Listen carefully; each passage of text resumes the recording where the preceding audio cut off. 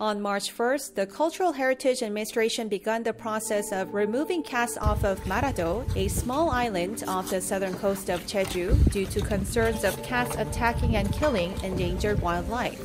Currently, it's estimated that about 60 to 70 stray cats live on Marado, which is home to about 90 people in total.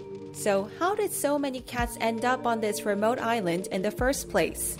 About 10 years ago, cats were brought to Marado by people to get rid of rats. And once the cats were released on the island, the rat problem went away, but the cat population was growing too fast.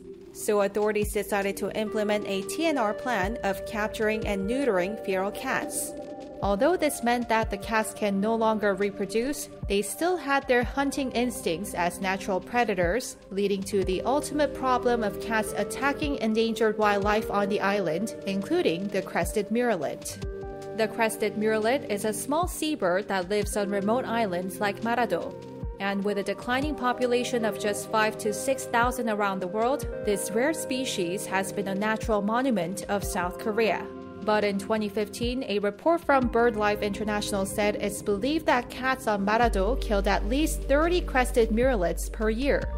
And in 2020, another report from the Korean Journal of Environment and Ecology said domestic cats released on Marado can be invasive predators that often threaten endemic species and cause loss of biodiversity or even local extinction on the island.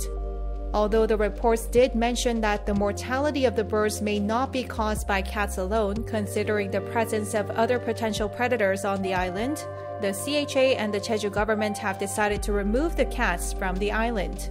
And the island residents eventually agreed.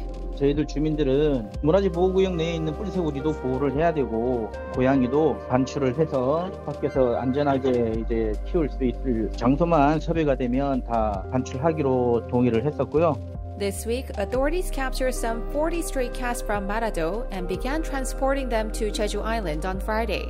Once the cats arrive in Jeju, they will get their health examined, and the healthy ones will stay at local animal protection center. Meanwhile, there has been a lot of criticism surrounding this mass capture operation, especially since cats are known to be highly territorial. And forcing these animals out of their homes and relocating them to a new environment can be very stressful and even dangerous. Some people have also pointed out the selfishness of human beings as the cats were unintentionally placed on the island in the first place to catch rats. And now they're being forced to leave due to human interference.